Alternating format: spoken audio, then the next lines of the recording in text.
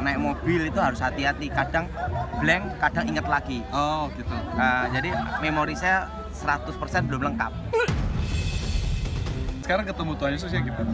Nah, waktu pertama ketemu Tuhan Yesus itu tahun 93, Dia jalan kakinya menyentuh tanah enggak? nyentuh, Nyentuh tanah. nyentuh. Tuhan Yesus itu. Nah. ya. Itu waktu Pak Daud umur 19 tahun. Ah, ah.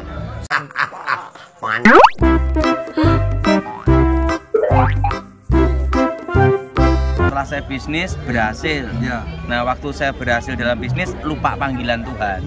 Saya ngalami kecelakaan tabrak nabrak truk jalan 60 lebih gitu.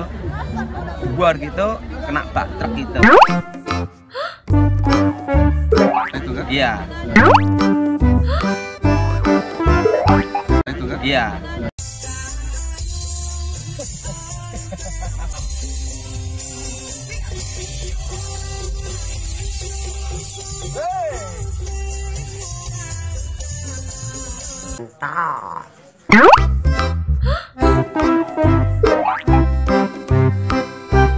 Waktu itu roh saya Umur keluar, 22 itu rohnya keluar terus? roh keluar dan saya dibawa ke sama malaikat itu ke satu tempat.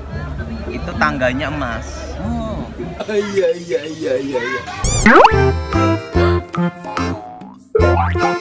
Dan di situ banyak malaikatnya banyak sekali Ya. berlaksa-laksa Ya. beribu-ribu laksa berpuluh-puluh ribu laksa Iya.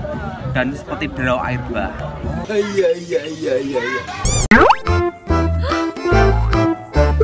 malaikat tuh bicara dalam suatu bahasa yang saya sendiri tidak tahu itu bahasa apa tapi ngerti Tapi ngerti? dan itu adalah bahasa Bukan bahasa Jawa. bukan bahasa roh saya juga ngucapin suatu bahasa yaitu bahasa roh dalam nama Yesus nyalain iblis keluar kau kegelapan roh gangguan kegelapan kita di samping kamar dikipet hamba perintahkan keluar dalam nama Yesus dalam nama Yesus ira basa karabas ada bana kama sada bana Yesus dikit abar kuman ona mani kita jadi besinda kama nako pata karabas ira bedi hedi ora bana kapati kodan ala bana kinda sama nako to korban ibin dikit kita sada bana kuman naka pasada bar roh kudus saya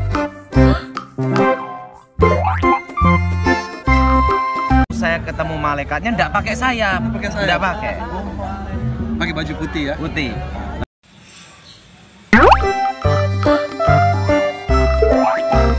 waktu itu saya sebelum kau menghadap yang maha kuasa Ya.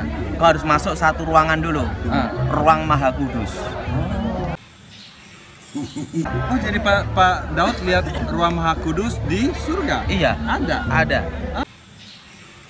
Misalnya gini kan gini Ya. Nah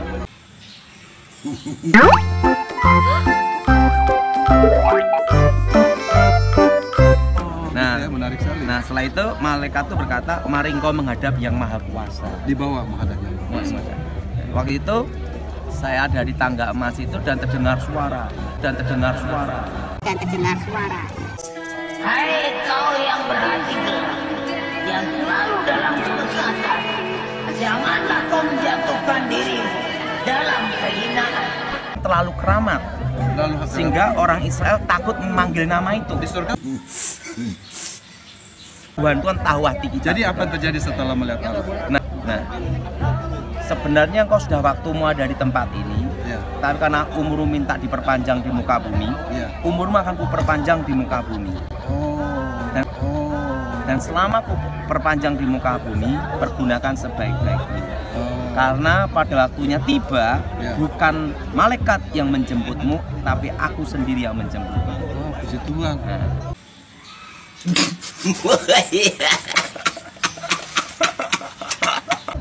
setelah itu, sedap itu dijemput sama Tuhan sendiri. nah, Tuhan bicara sama saya, akan kutunjukkan apa yang akan terjadi atas hidupmu, Ya. bangsamu di masa depan.